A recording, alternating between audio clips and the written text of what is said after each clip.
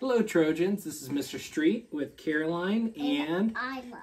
and we are going to read to you one of Isla's favorite books, Goodnight Farm. Out on the farm in the early evening light, the animals are settling down for the night. The cows have been milked, the pigs have been fed. Their busy day is over, and now it's time for bed. Bed. As the farm grows quiet and ready to rest, Owl flutters and flaps and wakes in her nest. Why he's waiting in nest? What does Owl say? Mhm. Good evening, Owl.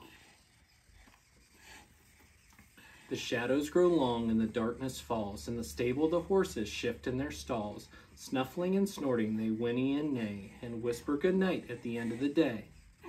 Good night, horses.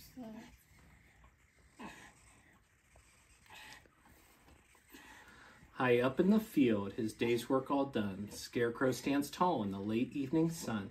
Each bird is now flown back to its nest. Night night, Mr. Scarecrow, it's time to rest. Good night, Scarecrow.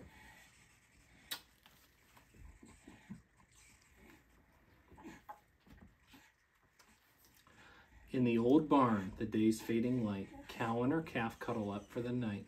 Outside the moonlight glitters and gleams as together they sleep, safe in their dreams.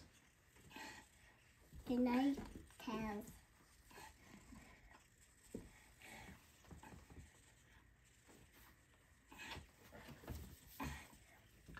Mommy hen gathers her chicks all around, tucked under her wings, they're kept safe and sound.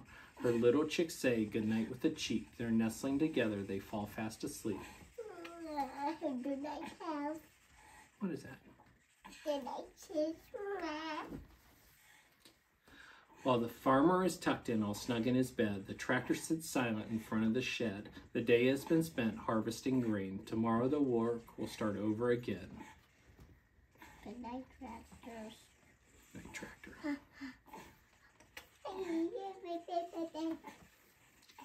The pond is lit up by the light of the moon as the frog chorus begins in its soft croaking tune.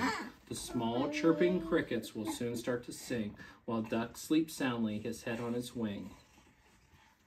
Good night, Dad.